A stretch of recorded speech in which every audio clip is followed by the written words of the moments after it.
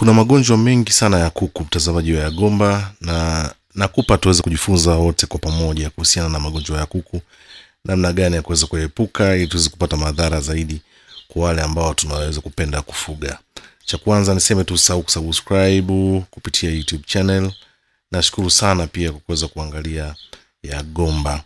Ukipenda kujifunza vitu mbalimbali utengenezaji wa chakula cha kuku aina zote wanyama wa mayai e, utengenezaji wa batiki mishumaa sabuni mambo yako mbali mbali ya kujifunza.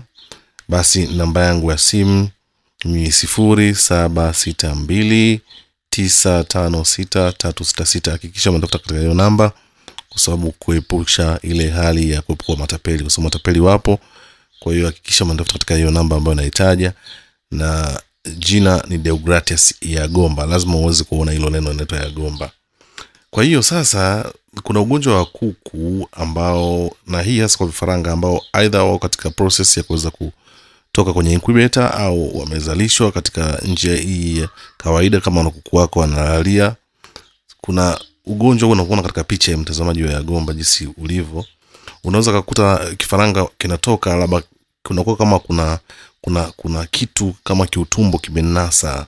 Hiyo sio hali ya kawaida hiyo ni ugonjwa unaitwa onfaritis ni ugonjwa huo ambao unasababishwa na bakteria ambao wanaenda kushambulia ile, yok na wakienda kushambulia ile yok wakati ule mambo ya uzalishaji yanafanyika basi au bakteria wanaweza wakasababisha infections katika baadhi ya ya, ya sehemu katika mfumo ule wa utungaji wa ilo yai lako.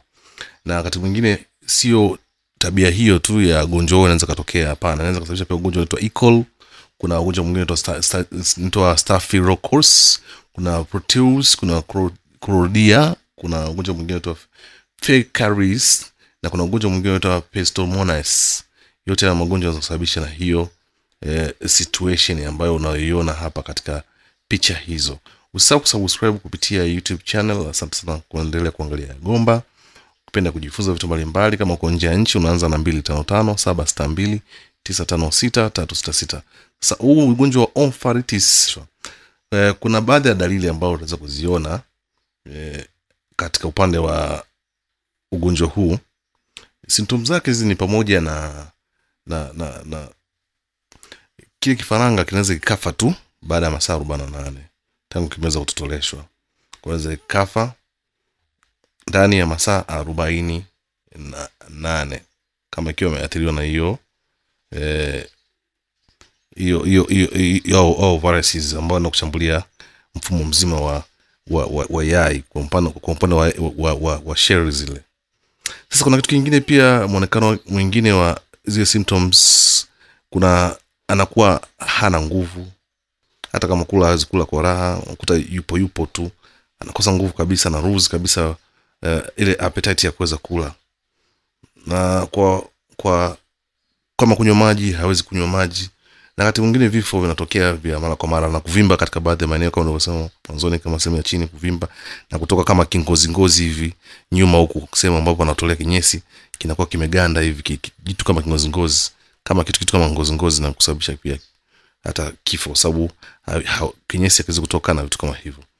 Sasa huu ugonjwa ki, kikawaida kwa mujibu wa wataalam ni kwamba ugonjwa hauna tiba halisi lakini kuna namna fulani ya kuweza kuzuia ikiwa ni pamoja na kuweza kusafisha kwa kutumia iodine katika maeneo yale ambayo yamesha yapata matatizo ya kuathiriwa. Lakini vile vile pia unawapa dawa za vitamins wale wale vifaranga kwa kila siku ambao tayari unaona wameanza kupata matatizo kama hayo. Lakini epusha pia kuwaweka katika makundi kuku hasa wale ambao wazima na wale ambao ambao ni wabovu. Kwa sababu kuna baadhi ya maeneo yatakuwa naonekana ya, ya ule kitoka mtumbo utumbo kutoka nyuma wanaweza wenzake wakaweza kudonoa donoa wakaweza kumuua kwa urahisi.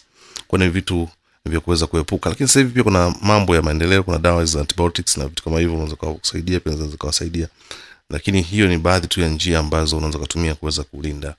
Lakini vile vile pia kichana na hiyo eh, kwa wale ambao wanatotolesha mayai yao. Hakikisha kabisa una control temperature yako vizuri na humidity. Yani unyevunyevu katika mashine yako wakati mwingine inaweza kasababisha pia kutokea kwa tatizo hili kama mfumo ule hautakuwa vizuri wa utotoleshaji. Kwa hiyo ni vyema uweze kufanya hivyo. Lakini sio hivyo pia ni kuna mayai yale ambayo ni machafu. Epuka sana kuna mayai unaweza kuta ni machafu. Unatoa una, unatoa uchafu unasafisha vizuri. E, sio kwa maji kwa maana kuweka ndani ya maji hapana kusafisha kwa kutumia kitambaa kizuri ambacho kitaweza kufanya yawe masafi au uyaweke mbali kabisa na maji ambayo ni masafi. Kwa sababu ni machafu